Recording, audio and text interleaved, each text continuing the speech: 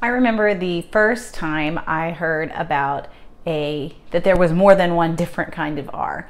I was sitting in my um, undergraduate class, one of them, and I remember watching the professor walk up the aisle past my chair as she's explaining, you know, there are two different kinds of R's.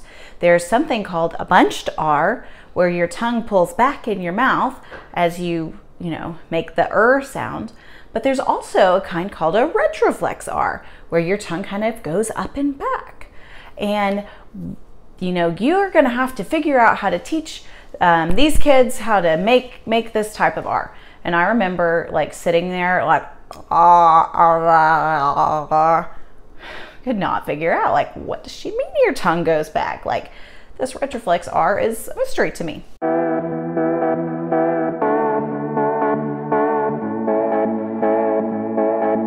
I avoided that retroflex R for years. I have perfected a great way to teach a bunched R, which I am going to share with you um, in a few videos. Um, but I avoided it until I started working with this little girl, and my tricks were not working. And we spent probably months, both of us extremely frustrated, until I finally, you know, was like, okay, here it is. I'm going to learn how to make a retroflex R so I can teach this little girl. So that leads me to the question of, first of all, how do you know when to teach a retroflex R and how do you know when to teach a bunched R? So before I get into that, I actually want to blow your mind with a little bit of knowledge. In my years of clinical experience and practice, um, I have kind of come to realize that there is no such thing as you're a bunched R person and you fall into this category, and you're a retroflex R person, you fall into this category. There's not these nice, pretty, distinctive lines. In reality, we all actually make both a retroflex R and a bunched R, and there's a bunch of variations in between. So here's what I mean by this. I want you to say er to yourself. Er. You probably just made a bunched R your tongue went back and you saw this little arch at the back. Now I want you to go R. Oh, did you see my tongue just pop up? R. I made a retroflex R. I did it without even thinking, without even trying. It depends on the kind of R that you're making as to where your tongue goes in your mouth. So now that we've established we actually both can, all of us, make both or both retroflex R people and we're all both bunched R people. Let's talk about that for a second. Um, I will admit, most of us do have a preference as to which R, um, first of all, as speech therapists, we like to teach. As I already indicated, I like to teach a bunched R. That's easier for me. I've got better cues for it. However, and that is because that bunched R comes naturally to me.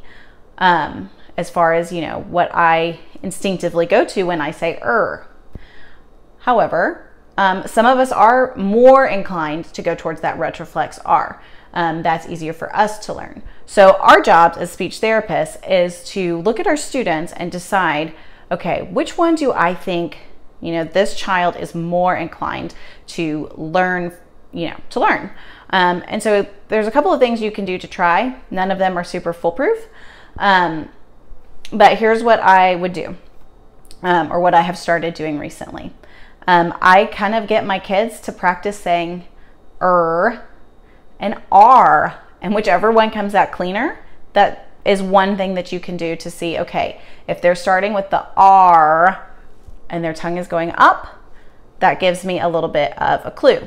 So, um, that maybe that R is going to be where we need to start shaping the rest of our R's from.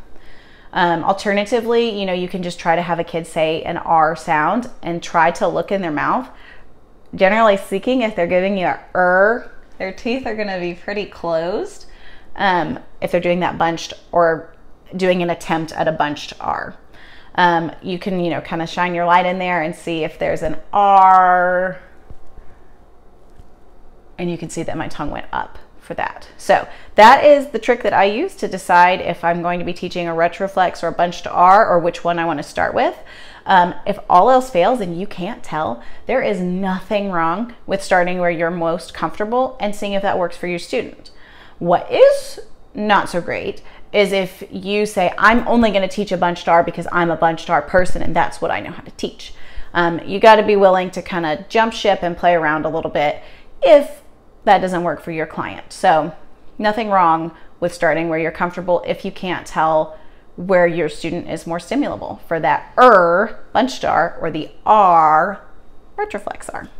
Okay, so thanks for sticking with me. I hope you found that um, helpful and informative as to you know when and how to teach a bunched R um, versus a retroflex when you should start teaching which one. Um, this is a video in a group of series all about R on just my personal teachings and ways that I do R. So if you want to click to the next video, that would be great.